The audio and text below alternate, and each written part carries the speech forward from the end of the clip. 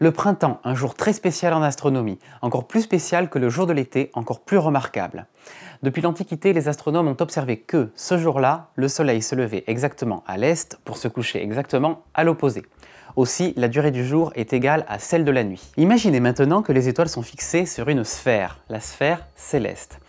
Plaçons la Terre au centre de cette sphère avec l'équateur céleste placé dans le même plan que l'équateur terrestre les pôles célestes nord et sud sont en continuité avec les pôles terrestres. Du point de vue de quelqu'un qui serait placé au centre de la Terre, le Soleil semble se déplacer sur cette sphère céleste. Sa trajectoire sur cette sphère est appelée écliptique. Le plan de l'écliptique est incliné d'un angle de 23,5 degrés par rapport à celui de l'équateur céleste. L'intersection entre l'équateur céleste et l'écliptique s'appelle un point vernal. Et cette situation marque les équinoxes de printemps et d'automne. Autrement dit, lors des équinoxes, le Soleil est exactement sur l'équateur céleste. Depuis un point de vue à la surface de la Terre, il faut imaginer cette sphère céleste marquée par le pôle nord, clairement visible dans l'hémisphère nord, et le pôle céleste sud, non visible mais imaginable grâce à la courbure de la trajectoire des étoiles en regardant vers le sud. Entre les deux, l'équateur céleste est la ligne où les étoiles semblent parcourir une distance égale en tournant autour du pôle nord et du pôle sud. Si je vous présente cette photo, vous remarquez clairement le pôle Nord céleste.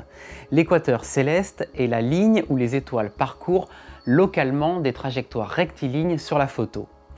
Au-delà de cette ligne, la courbure de la trajectoire des étoiles s'inverse et on peut imaginer par symétrie la position du pôle sud céleste.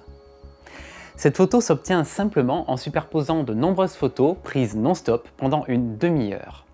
Et quel que soit le moment de l'année, vous aurez la même configuration. L'équateur céleste est cette ligne imaginaire qui culmine à environ 45 degrés en France. L'écliptique, quant à elle, est une ligne en constant mouvement de notre point de vue parce que la Terre tourne sur elle-même. Les planètes et la Lune évoluent aussi très proches de cette ligne. En astronomie, il est important d'avoir une idée d'où se trouve l'écliptique à tout moment pour bien se repérer.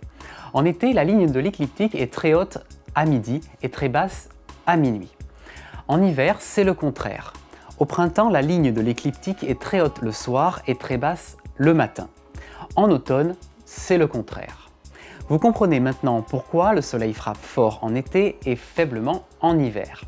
De même, de nuit, les planètes visibles l'été ou encore les pleines lunes sont basses sur l'horizon, au contraire de l'hiver.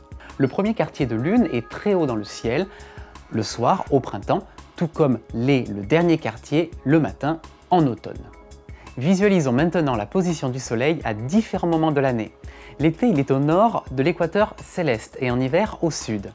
Et comme nous l'avons dit précédemment, le Soleil est exactement sur l'équateur céleste le jour du printemps. Le temps d'une journée, on peut considérer que le Soleil parcourt l'équateur céleste. Et figurez-vous que c'est cette situation qui m'a donné une idée originale. Et si je superposais la trajectoire du Soleil ce jour-là avec la position de la sphère céleste? La manœuvre n'est pas si compliquée. De nuit, je positionne mon appareil photo avec objectif grand angle sur un trépied. J'intègre le paysage dans le tiers bas de l'image et je vise le ciel vers l'ouest. À n'importe quelle heure, je déclenche l'intervallomètre intégré pour des photos de 30 secondes. En ville, je règle les ISO pour ne pas saturer la scène. Avec un temps mort de 1 seconde entre chaque photo, l'appareil enchaîne 30 minutes jusqu'à ce que j'arrête la session. Je retire l'appareil sans toucher au trépied et je fais particulièrement attention à ne pas modifier la mise au point ou la focale. J'importe les photos RAW sur Lightroom, je modifie un peu la teinte et je diminue l'intensité des moyennes lumières pour que les étoiles contrastent mieux avec la pollution lumineuse. Enfin, je corrige la distorsion. J'exporte en JPEG, j'ouvre le logiciel gratuit StarMax, j'y importe ma série de JPEG et je clique sur Add Max. Et voilà, j'ai la trajectoire des étoiles sur 30 minutes. Le lendemain, dans l'après-midi, je replace délicatement l'appareil photo au même endroit. Je photographie la scène toutes les 5 minutes pendant 4 heures, de façon à obtenir un chapelet du soleil afin de matérialiser sa trajectoire. Pour vous donner une idée des réglages, j'étais à 160 ISO, une ouverture de 11 et un temps de pause de 1 4 millième de seconde. Seul le disque solaire doit saturer. La scène sera forcément très sombre, mais c'est ce qu'on recherche. De même, j'importe les fichiers sur Lightroom et je sélectionne un filtre radial que je centre sur le soleil.